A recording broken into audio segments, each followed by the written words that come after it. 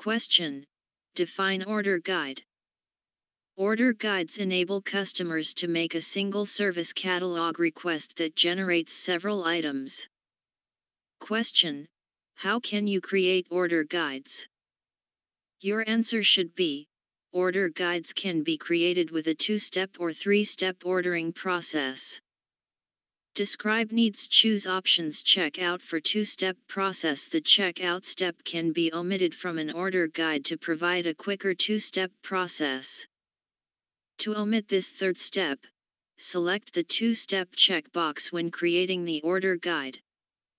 Question, can we add a catalog item to an order guide? Your answer should be, yes, by using specific rules. Question, what is order guide rule or rule base? Your answer should be, order guide rules define conditions that must be met for a specific item to be included in an order. For example, a new employee hire order guide rule can state that if the new employee job title is CTO or director, and the department is IT, then add an executive desktop item to the order. Question what is the use of cascade? Your answer should be, cascading allows values entered for variables in the initial order form to be passed to the equivalent variables in the ordered catalog items. To enable cascading, select the Cascade Variables checkbox when creating the order guide. Then, create variables on the catalog items that match the names of the corresponding variables in the order guide. When a customer places an order, the variables on the ordered items inherit the values of the identically named variables in the order guide.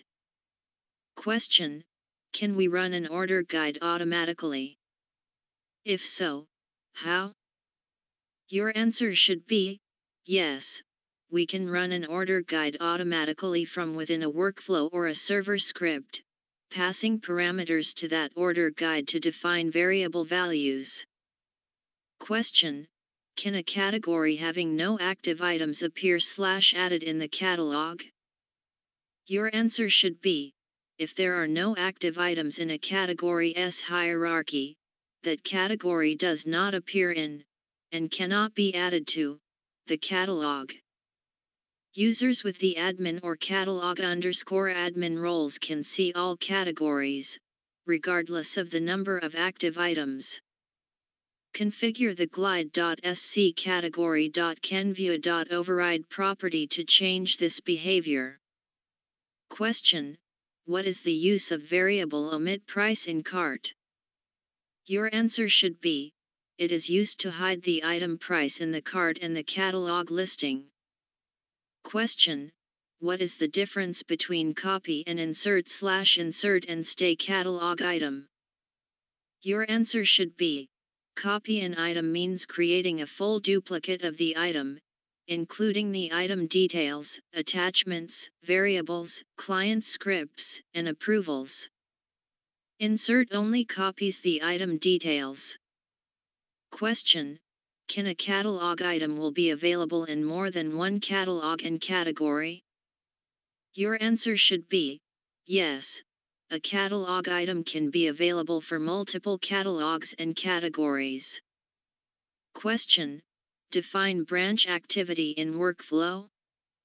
Your answer should be, the branch activity splits the workflow into multiple transition paths from a single activity. If you find this content helpful then please like and subscribe. We wish you all the best. Question. Define join activity in workflow? Your answer should be, the join activity unites multiple concurrent execution paths into a single transition. Question. Define lock activity in workflow? Your answer should be, the lock activity prevents other instances of this workflow from continuing past this activity until the lock is released. For example, if a workflow is triggered when a record is added to a particular table and multiple records are added one after the other, that workflow will be triggered multiple times, once by each record insertion. In such cases, you can use the lock activity to ensure that this instance of the workflow has completely finished one or more activities before any other instance of the workflow can proceed. Question. Define wait for condition activity in workflow.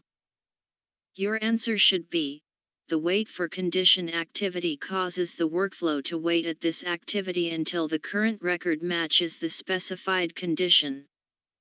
The workflow evaluates the wait for condition each time the current record is updated. Use this activity to pause a workflow indefinitely until a particular criteria is met by a record update. Question. Define wait for WF event activity in workflow. Your answer should be, the wait for WF event activity causes the workflow to wait at this activity until the specified event is fired. Use this activity to wait for another activity to fire an event.